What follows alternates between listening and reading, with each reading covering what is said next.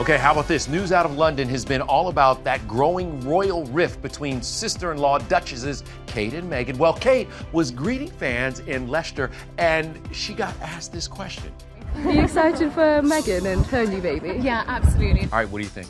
I don't love when people pit women against other women. Okay. Both of these ladies have a lot on their plate. Let's just let them be and buy the clothes that they wear. All right, you know who is also obsessed with the royals besides well, me. Kelly Ripa. She has a new Facebook series with Rachael Harris, who co-starred with Meghan on Suits, Yes. but sadly, that royal connection didn't pay off the way Kelly had hoped.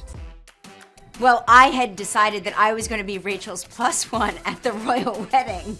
But I guess I guess you had to work and you couldn't go, so hence I I couldn't had go. to work, work, and I had two children, and I wasn't invited. But Just so you know, Meghan has not returned any of my texts. So, no royal invite for the besties who've been known to bust a move on the dance floor. We officially fell in love at a wedding in Italy.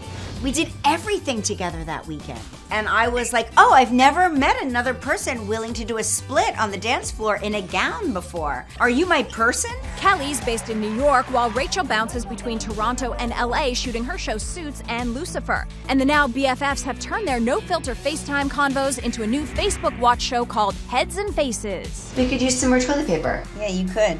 Have you ever wiped with the cardboard? Yes. We decided that nothing was off limits. There was no topic that was too taboo. One hot topic during their bi coastal chats Kelly's hot husband, Mark Consuelos. Like every date, he's like, Is this okay? Is this okay?